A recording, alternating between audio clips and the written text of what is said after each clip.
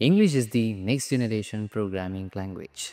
Not because grammar is important, not because accents matter, but because this is how we build things now. When people hear that line, they think it's exaggerated, but look at how we build things now.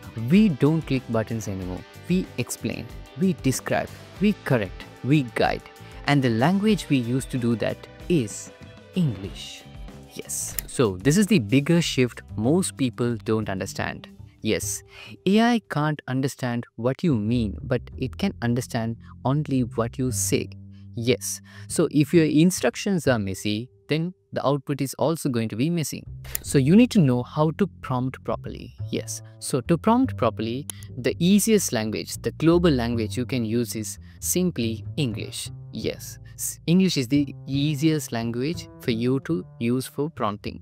So uh, somebody, some, someone of you will ask me, uh, bro, just why why english? I can use any of other languages. Why english? Okay let me explain here.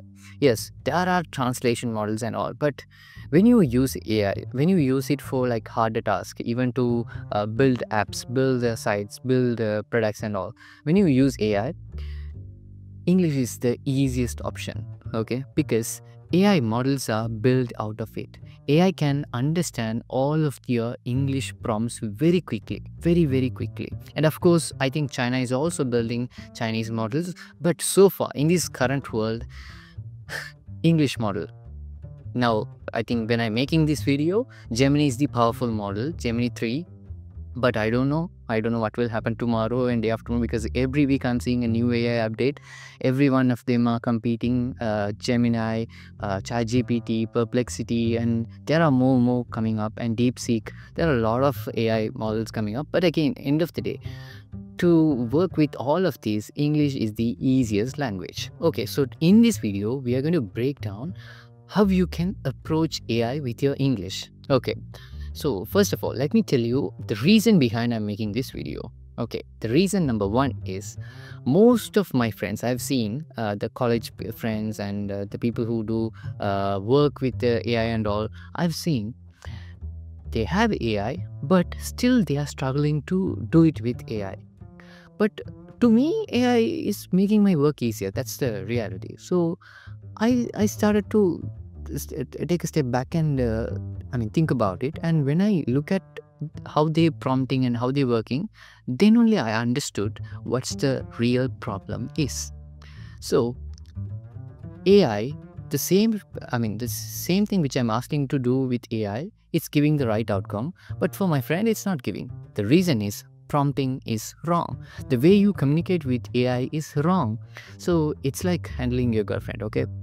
So you can't rush everything. You can't ask your girlfriend to do everything at once right? So you should know how to ask it step by step. Like how to convince step by step right? So likewise to convince the ai you should know how to do it step by step. So that's where you can become a good prompt engineer. Okay cool.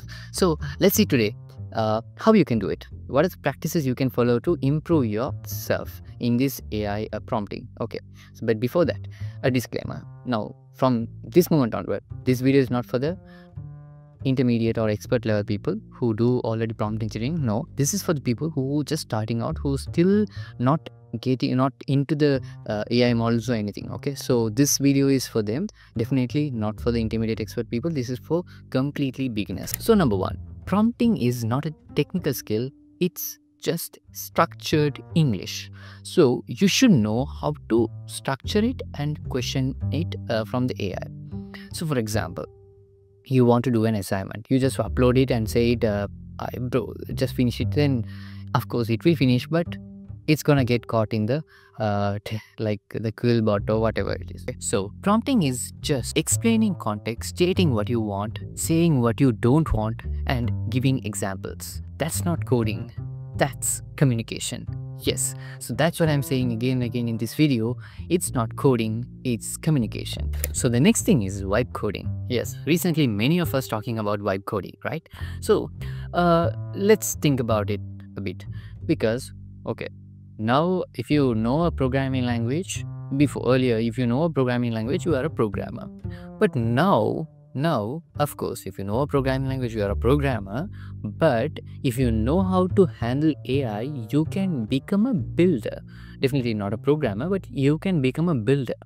So, what does that mean? Yes, so you have a problem, you need a solution, so you can use the AI model to build that solution. That's it. But if you should know how to prompt properly and you should have a good English to do it. So that's it. So this is one of the great example of application of this uh, english in ai okay in this 2025 in the january i remember chatgpt was so so basic okay? Trust me it was so basic. And gemini was even even more basic okay? No one cares about gemini but look at now. Look at now the transformation. So this year it's a huge transformation in terms of these AI models. So you should also transform yourself to communicate with AI. So we were making a lot video about communicating with humans, but of course, this is also very, very important in this era. You should know how to communicate with AI as well, and you should be polite and you should be uh, clear and structured when you talk to AI. I mean, again, whatever you talk it's going to reply but if you be structure clear and also if you be straight to the point then ai will make your job easy.